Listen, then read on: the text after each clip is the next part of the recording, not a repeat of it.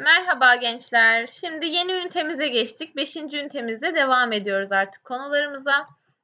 Sizin çok yakından ilgili olduğunuz, çok severek sarıldığınız bir konuyu işleyeceğiz şimdi. Teknoloji. Teknoloji bizim hayatımızın artık her evresinde olan bir şey değil mi?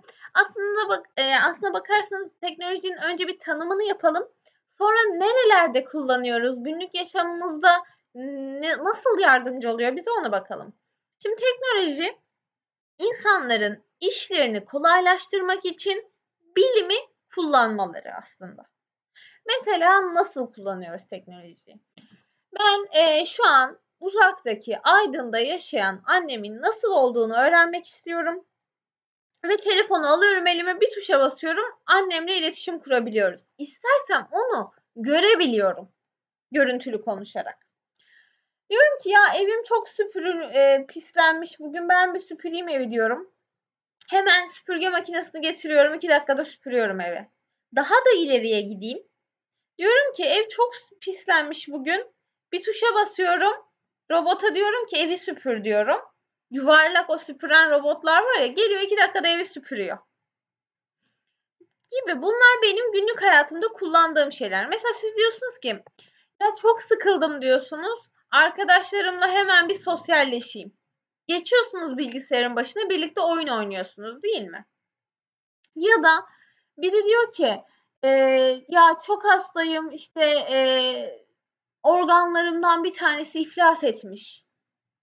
Teknoloji hemen ne yapıyor? Artık o raddeye geldi. E, bir organ üretiyor ve o organı oraya nakil ediyorlar ileri boyutu. Daha birçok alanda Mesela diyelim ki bir fabrikada işler çok birikti. Hemen bir makine onları iki dakikada halledebiliyor değil mi? Yani hayatımızın her evresinde artık biz teknoloji kullanabiliyoruz. Ee, sağlık sektöründe pek çok hastalığa çare bulunuyor. Mesela eskiden insanlar e, kızamık yüzünden ölüyorlarmış. Ama günümüzde çocukken kızamık aşısı oluyoruz ve kızamık hastalığı geçirmiyoruz bile. Yani teknoloji giderek ne yapıyor? Gelişiyor. Tabii ki teknolojinin e, yararları da var, zararları da var. Biz ilk önce yararlarına bakalım, sonra da zararlarına bakarız. İletişim. Biraz önce dedim ya uzakta olan bir annemi nasıl rahatlıkla hemen görebiliyorum. Bu benim e, iletişimimi arttıran, e, akrabalarımla, arkadaşlarımla bağımı güçlendiren bir özelliği. E, işler kolaylaşıyor kısa sürede zahmetsizce. Mesela eskiden büyüklerimiz e, çamaşırları elde yıkarmış. Saatlerce elinde çitiler çitiler çitiler sonra durular sonra onları sıkmaya uğraşır. Ama insan gücü ne kadar sıkabilir ki? Makine gibi sıkamıyor. Ama şimdi çamaşır makinesine hop bir atıyoruz bitti. Artık hiç bir daha hemen alıyoruz seriyoruz onları. Hiç enerji sarf etmiyoruz. İşler hemen kolaylaşıyor. Eğitimde mesela şu an e, biz pandemi yaşıyoruz ve ben öğrencilerime e, online ders veriyorum. Bilgisayar üzerinden. Hiç beni e, yanlarına gitmeden, e, sesimi duyarak, yüzümü görerek bilgisayar üzerinden ders işliyoruz biz onlarla. Bu olmasaydı ya da şu an siz bu dersi dinleyebilmenizin sebebi teknoloji. Teknoloji bu kadar ilerlememiş olsaydı biz bu şekilde e, ders işleyemezdik. İşte hastalık olduğunda herkes evine giderdi eğitime ara verilirdi ve dersler işlenmezdi. Hiçbir şekilde işleyemezdik. Ama teknoloji ilerlediği için böyle bir yararı olabiliyor. Ya da e, derslerde biz okulda bir sürü materyal kullanıyoruz. Mesela bazı tarihi eserleri e, üç boyutlu olarak görebiliyoruz telefonumuzdaki uygulamalar, uygulamalar sayesinde. Ya da e, Başka ne yapıyoruz? Bir sürü oyun oynuyorsunuz mesela matematik derslerinde. Ee, bir alet var. O aletle birlikte e, siz hareket ediyorsunuz ve alette o hareketler de oluyor. Ee, bunun dışında mesela diyelim ki başka bir şehirde, başka bir ülkedeki müzeyi sanal olarak gezebiliyorsunuz. İstediğiniz her noktasına bakabiliyorsunuz, yakınlaşabiliyorsunuz. Çok fazla avantajı var. Ulaşım olarak e, çok eskilerde bir yere gitmek mesela at arabasıyla ya da trenle gitmek çok zorken şu anda günümüzde bir saate Antalya'ya varabiliyorsunuz burada. O kadar kısaldı yani ya da başka ülkelerle ticaret yapabiliyoruz çok kolay bir şekilde. Bunların hepsi teknoloji sayesinde oluyor. Bilgiye erişim. Mesela geçmişte bir araştırma yapacağız. İşte kütüphaneye git, ansiklopediyi bul. Ansiklopedinin içerisinde aradığın bilgiyi bul. Aradığın bilgi yetersiz başka bir kitaba bak. Ama şu anda bilgisayarı açıyoruz. Tık tık tık iki dakika yazıyoruz ne aramamız gerekiyorsa, neyi öğrenmek istiyorsak. Bize istemediğimiz kadar bilgi sunuyor. Yani artık çok çok çok kolay bir şekilde ulaşabiliyoruz. Mesela diyelim ki yabancı bir kelime duyduk, bilmiyoruz, merak ettik. Hemen çeviriye giriyoruz, aratıyoruz. Hemen karşımıza çıkıyor. Ama önceden sözlüğe bakıyorduk. Sözlükte yoksa kelime başka bir sözlüğe bakıyorduk gibi.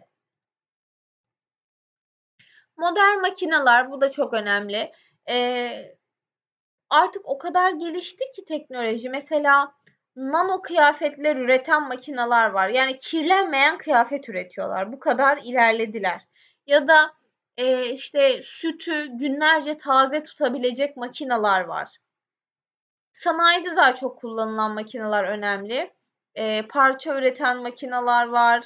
E, çok ilerlediler yani bu konuda artık teknoloji sayesinde. Yani eskiden insanların bir ayda iki ayda yaptığı işi makineler bir günde iki günde tamamlayabiliyor ve bu sayede üretim de artıyor. Üretim hızlanmış oluyor. Böyle bir yararı oluyor bunun. Güvenlik aslında çok önemli bir konu.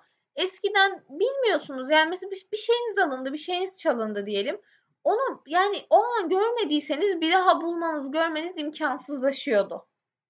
Ama şimdi güvenlik kameraları sayesinde nerede ne olup bitiyor hemen bulunabiliyor değil mi? Mesela bir cinayet işlendi diyelim. MOBS kameralarından, sokaklarda olan kameralardan hemen işte araç mı kullandı, yürüyerek mi gitti? Hemen her şey izlenebiliyor değil mi? Çok fazla güvenliğimiz arttı. Bunun dışında e, mesela evlere ya da iş yerlerine takılan alarm sistemleri var. Kapı zorlandığında ötmeye başlıyor ve aynı anda polisi arıyor hemen.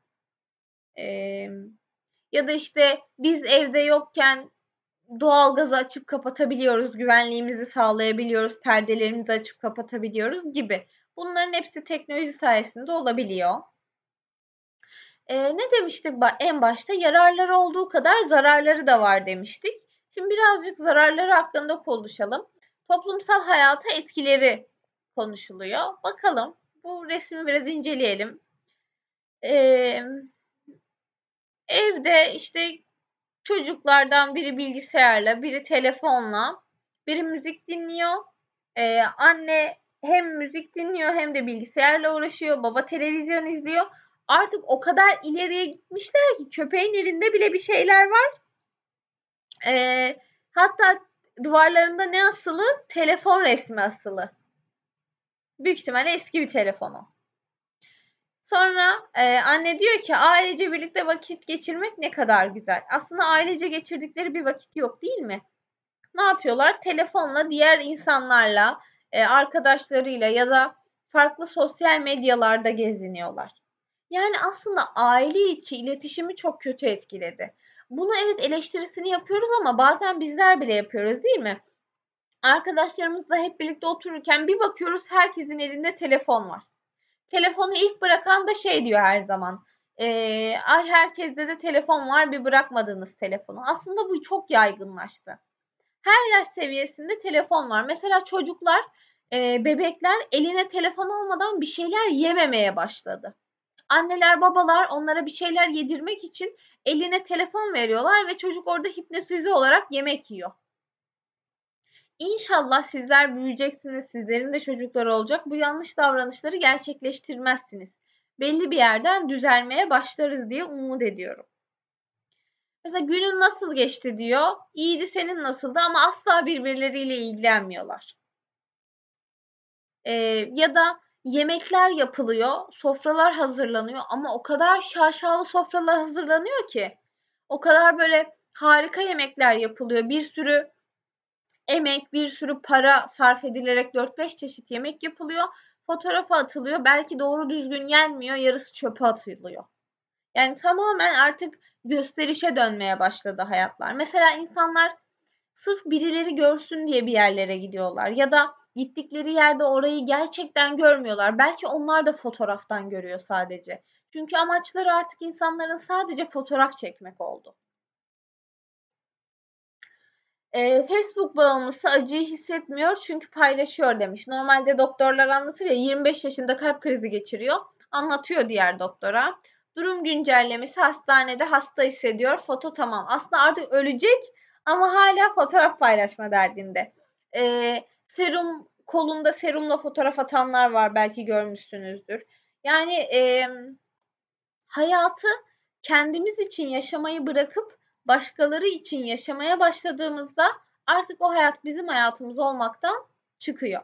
O yüzden böyle şeylere çok dikkat etmemiz gerekiyor. Yani e, biraz kendimizin özeli olmalı, her şeyi paylaşmamalıyız e, ya da sürekli teknolojiyle iç içe olmamalıyız. Bazen kitap okumalıyız, bazen ailemizle oturup sohbet etmeliyiz. Yani her şeyin bir sınırı var. Her şeyi dozajında kullanmalısınız. Ben size demiyorum ki teknolojiyi tamamen bırakmalısınız. Hayır, arkadaşlarınız ilerlerken bir şeyleri bilirken sizin de bilmeniz gerekiyor tabii ki. Hem e, bilimsel alanlarda hem de oyun da olabilir bu. Hiçbir şekilde olmayacak değil ama her şeyin bir e, sınırı var. Belli sınırlarda tabii ki belli ölçülerde e, oyun da oynayabiliriz.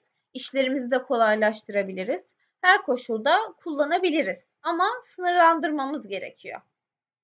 E, şiddet içerikli bilgisayar oyunları yüzünden şiddete meyilli büyüyor çocuklar demiş bir e, psikolog büyük ihtimalle. Çocuk oyunu oynuyor diye dövdüm geçen gün al işte demiş. Yani e, hem aileden şiddet görüyor hem bilgisayarda şiddet görüyor. Bu çocuk nasıl bir çocuk olacak muhtemelen? E, şiddet eğilimli, şiddete bağımlı bir insan olacak. Mesela şu an e, bilgisayarlarda çok fazla silahlı oyun var değil mi? Birilerini öldürdüğünüz, e, işte hırsızlık yapılan oyunlar var. Bunlar insanları hep şiddete meyilli ya da şiddetin normal bir şey olduğunu düşündürmeye başlıyor. Hava harika dışarı çıkıp oynasana diyor. Çocuk dışarı çıkıyor ve yine bilgisayarla oynuyor. Mesela dışarı çıkıyorsunuz, yanınıza telefonunuzu alıyorsunuz ve dışarıda da telefonla oynamaya devam ediyorsunuz aslında arkadaşlarınızla. Bunlar hepimizin, sadece sizler için demiyorum, hepimizin kurtulması gereken davranışlar. Bunlara e, dikkat etmemiz gerekiyor. Yoksa giderek ne yaparız? Yalnızlaşırız. E, telefondan başka, televizyondan başka, bilgisayardan başka dostumuz olmamaya başlar. Bunlara dikkat edelim. Hep birlikte teknolojiyi e, yararlı kullanmaya çalışalım. Zararlarını da yararlarını da gördük. Biz nasıl kullanırsak teknoloji onu verir bize. Dikkat edelim lütfen.